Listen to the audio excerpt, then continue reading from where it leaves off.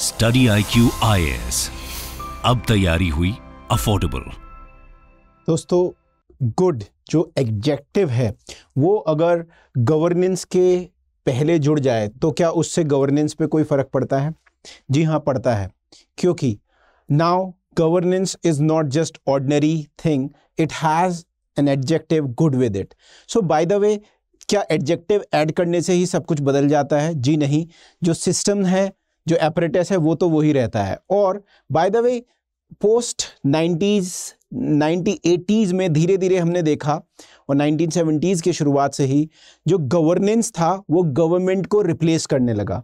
Government is more about structures it's more about structure buildings bureaucracy,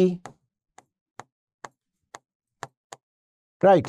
And governance is more about the encompassing of people, the receiver, the common people, और जो जनता जनार्दन है उसका साथ लेना civil society का साथ लेना ग्रुप्स का साथ लेना जहाँ पर मल्टीप्लिसिटी है स्टेक होल्डर्स की वो है गवर्नेंस स्ट्रक्चर्स हमेशा काम नहीं करते और उन्होंने एक हर्डल क्रिएट किया डेवलपमेंट के फ़ंक्शन में लोगों को वो सुविधाएँ देने में भी नाकामयाब रहे। तो गवर्नेंस आया। जो गवर्नेंस था वो भी in itself was not able to solve the problem then came good governance so let's now dwell deeply into the concept good governance so in a way we can say कि good governance क्या है? Mobilising the people लोगों ultimately तो लोगों का साथ चाहिए, इसीलिए गवर्नेंस आया। और गवर्नमेंट अपने आप में जो मोनोपोलिस्टिक टेंडेंसी थे, उससे काम नहीं चल पा रहा था। अब गुड गवर्नेंस क्या है?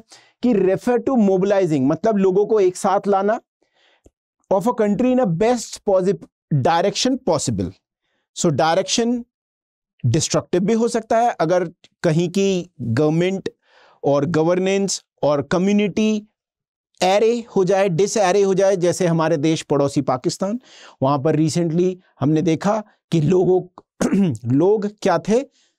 अलग ही डायरेक्शन में चले गए नेगेटिव डिस्ट्रक्टिव में। अब इनको पॉजिटिव डायरेक्शन में लाना ही क्या है? गुड गवर्नेंस है। एक तरीका यह है देखने का। अब इसके ओरिजिन्स की बात करें अगर हम इवोल्यूशन की बात करें सो इवोल्यूशन एंड एट्रीब्यूट्स की बात करें इसमें क्या क्वालिटी है क्या फीचर्स हैं क्या इसके गुण हैं? सो so, इसका उपयोग 1990 से ज़्यादा होने लगा और गवर्नेंस जो वर्ड था, वो तो धीरे धीरे कॉपरेट वर्ल्ड ने भी ले लिया। Good governance particularly corporate world ने जब गवर्नेंस ले लिया, उसके बाद आता है। So good governance international agencies जो आईएमएफ और वर्ल्ड बैंक हैं, ऐसा भी माना जाता है और ये इसका क्रिटिसिज्म है कि good governance is an agenda of IMF world bank Bretton Wood cousins और साथ में मल्टीनेशनल कंपनीज़ का और ये एजेंडा की तरह इसे बढ़ाया गया। So definitely it has been backed by international agencies no doubt about it so there was a document on sub Sahara Africa from crisis to sustainable development वहाँ पर पहली बार इसका ज़िक्र होता है और फिर वर्ल्ड बैंक ही इसको आगे क्या करता है एकेडमिक सर्कल्स में और नैरेटिव फॉर्म करने में इसका यूज़ करता है। सो so, 1992 की एक रिपोर्ट आती है entitled governance and development the world bank इसमें क्या कहता है एक डेफिनेशन देता है। और वो डेफिनेशन क्या है? It is defined as good governance is a country how a country is utilising the manner in which the power is exercise in management of utilisation कैसे होता है? कंट्री के इकोनॉमिक और social resources for development so power कैसे exercise हो रही है? और अल्टीमेटली जो सोशल और इकोनॉमिक रिसोर्सेज हैं तो आप देख सकते हैं इकोनॉमिक रिसोर्स किसी भी कंट्री में ऑयल बहुत हो सकता है but that may not lead to good governance जैसे नाइजीरिया है जैसे और भी बहुत सारी कंट्रीज़ हैं वेनेजुला है, वहाँ की गवर्नेंस बहुत अच्छी नहीं मानी जाती है। कहीं पर बहुत सारे डायमंड हो सकते हैं, बहुत रिच कंट्रीज़ हो सकती हैं, जैसे कॉन्गो हो सकती है राइट सियरा लियोन हो सकती है डायमंड्स बहुत हैं वहाँ पर but still they lack governance they lack good governance so in a manner कैसे उपयोग कर पाते हैं? So any country whichever is using their resources in a best possible way and moving direction of the people is constructive then there is a possibility of good governance over there so good governance as a concept हम public administration में पहली ही unit में paper one की भी पढ़ते हैं और throughout the public administration क्योंकि पब्लिक सर्विस और सिविल सर्विसेज़ को हम पढ़ते हैं गुड गवर्नेंस चेंज इन जो गवर्नेंस का कॉन्सेप्ट है क्या गवर्नमेंट चेंज ओरिएंटेड हो रही है। वहाँ पर इसका बहुत ही उपयोग है। We use it at many places in paper one and paper two now public administration is an optional which can lead you to the your dream job and thirty first of May is the last of the day जो अभी हमारा batch running है, उसमें ensure कराने का अपना admission सो so, आप इसमें अपना एडमिशन इंश्योर कराए और at a very at a very competitive price केवल पंद्रह हज़ार नौ सौ निन्यानवे एस सी लाइव कोड जो मेरे नाम के, शेखर चौधरी नाम के क्या है? इनिशियल्स हैं यूज़ करके आप ये एडमिशन सुनिश्चित करा सकते हैं। So classes and test series we have one two four live classes on daily basis then we have test series that would be twelve and eight is sectional and four is full length apart from that we discussed previous year questions. There are doubt sessions on daily basis. There are handwritten notes and also crux notes right? So i have written all the things for you over here. So do remember right? So you can avail this at a very competitive price. Do have that opportunity with you and ensure your final selection so now coming on to the major characteristic क्या है? So obviously world bank ने एक proposal अपने document में बताया कि good governance कैसा होता है। वहाँ से हम इसके कैरेक्टरिस्टिक्स विशेषताएँ क्या हैं ये देख लेते हैं। कैसे एक गवर्नेंस गुड की तरफ़ जा सकता है? एडजेक्टिव ऐड हो गया है। चीज़ें वही रही अपरेटस वही रहा मशीनरी वही रही पर अब गुड हो गया है। सो so, ट्रांसपेरेंट क्या भारत में भी इंडिया में भी गुड गवर्नेंस है? आपको जो शासन है जो ब्यूरोक्रेसी है, जो एग्जीक्यूटिव है, जो प्लानिंग है पॉलिसी है, उसमें क्या लाना पड़ेगा? ट्रांसपेरेंसी मतलब लोगों के साथ आपको शेयरिंग करनी पड़ेगी and they can seek out what is there behind the power centre so transparency जैसे आरटीआई एक्ट भारत में आना 2005 में आया, ये एक उदाहरण है। और गवर्नमेंट बहुत सारी अपनी रिपोर्ट्स स्वतः ही अपने आप से they are sharing the reports so, government is definitely coming out from the wheel of power. जो एक क्लॉक ऑफ़ पावर था, उससे बाहर आ रही है, ये ट्रांसपेरेंट है। Accountable any action that is taken उसके क्या हो गए? एनी एक्शन के बाद if some bad action has been taken इधर बाय दी पार्लियामेंटेरियंस और ब्यूरोक्रेसी और पब्लिक पॉलिसी मेकर्स उसके लिए अकाउंटेबिलिटी फिक्स होनी चाहिए। इसके अलावा रूल ऑफ़ लॉ का राज होना चाहिए। ऐसा नहीं है कि प्रिवलेज लोग can do whatever they want to do at the same time since it has been criticise this whole concept has been criticise with the point that it is a promotion of vested interest of multinational companies of western world यहाँ पर वो ensure कराना चाहते थे कि IMF और world bank कुछ ऐसी प्री रिक्वेसाइड कंडीशन बना दे ताकि हम अपनी मल्टीनेशनल कंपनीज़ को वहाँ लॉन्च कर सके। उसके लिए रूल ऑफ़ लॉ होना बहुत ज़रूरी है because many a times the state where the MNCs are investing may be at the loggerheads with those companies financial issues हो सकते हैं टैक्सेशन हो सकते हैं। ये कराना बहुत ज़रूरी है। ये तो एक एंगल है रूल ऑफ़ लॉ होना ही चाहिए for citizen also for equitable शासन के लिए बहुत ज़रूरी है। At the same time responsive होना चाहिए। सो गवर्नमेंट रिस्पॉन्ड करे। अब जो हमारे सिटीजन्स के लिए जो फ़र्स्ट लेवल ऑफ़ रिस्पॉन्स आता है पुलिस थाने होते हैं तहसीलें होती हैं ब्लॉक्स होती हैं वहाँ लोग जाते हैं। सो so, अब गुड गवर्नेंस से पहले government were not responsible they were not responding to the cry and requested of the people so अगर हम अपने आसपास देखें, जैसे 112 पुलिस डायल सुविधा है so this is definitely a call for responsive administration at the same time जैसे आप अगर ग्रीवियंस रिड्रेसल अपनी कोई भी समस्या है, उसके लिए सीपी ग्राम्स पे जाते हैं right so there is this portal for public grievances के सॉल्यूशन के लिए राइट right? सो so, वहाँ पर जाते हैं तो ये भी एक रिस्पॉन्सिव गवर्नमेंट का उदाहरण है।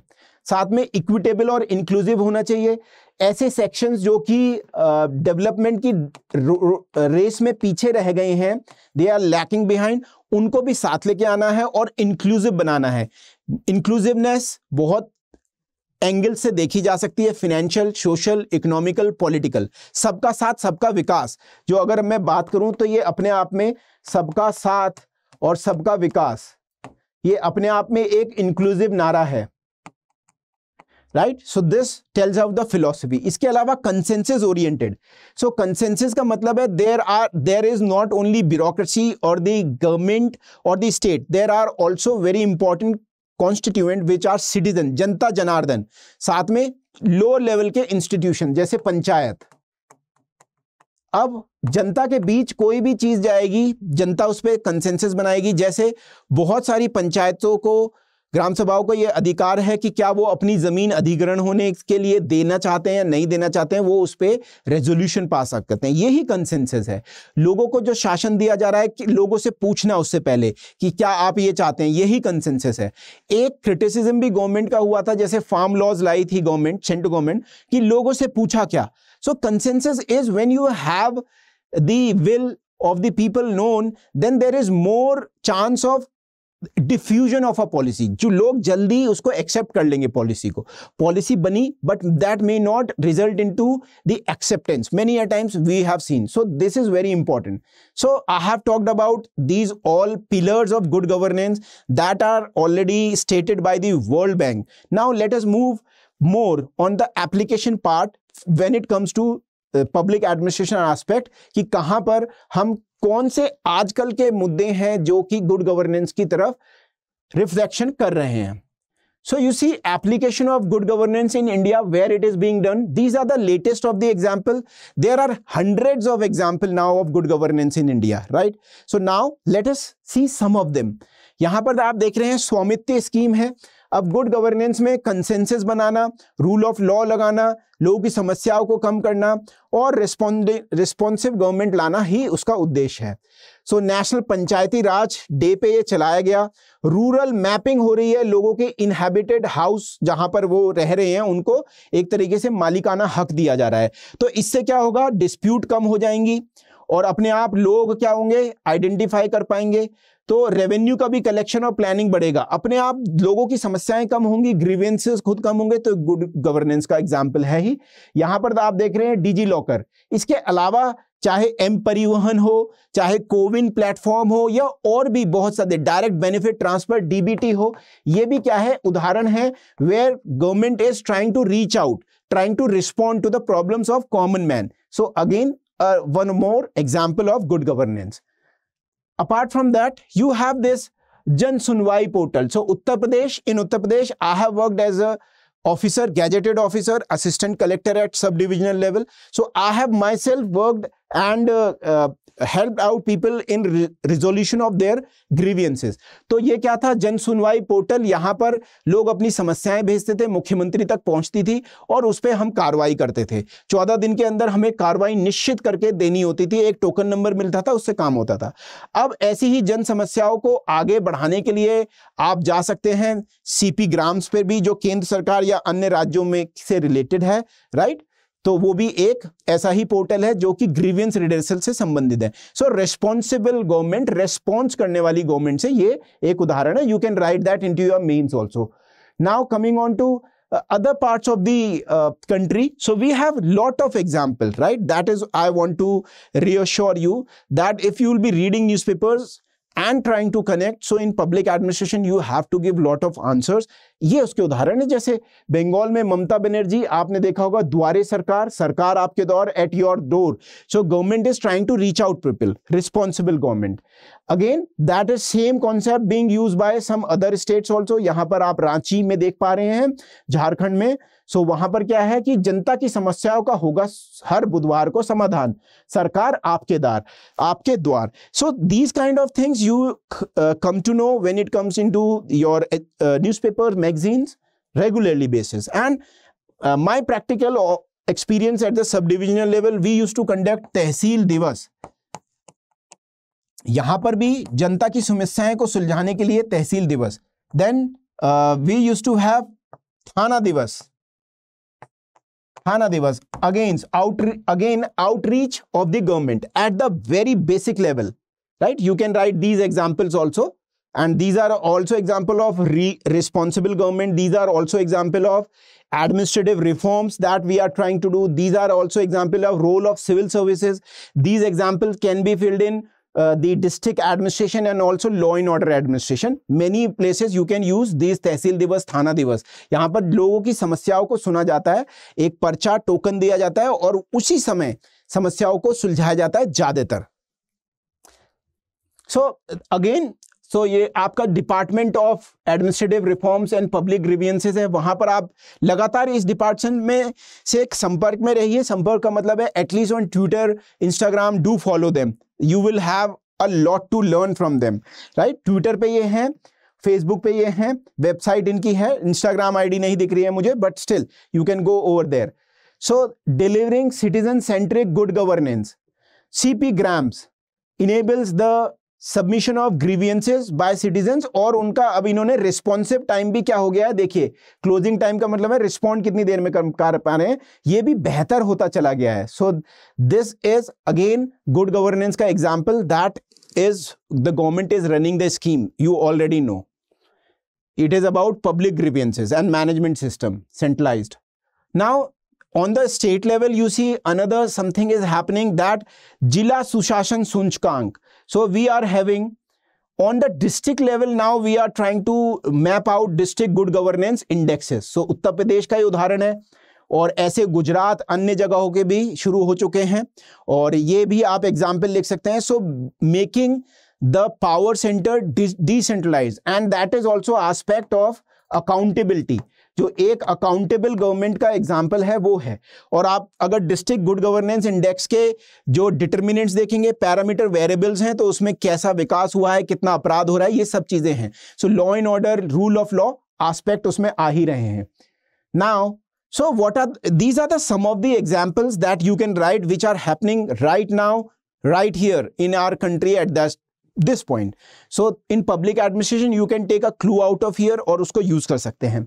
साथ में यहाँ पर गुड गवर्नेंस तो है, बहुत अच्छी बातें हैं, पर कुछ बैरियर्स भी हैं। वो क्या है?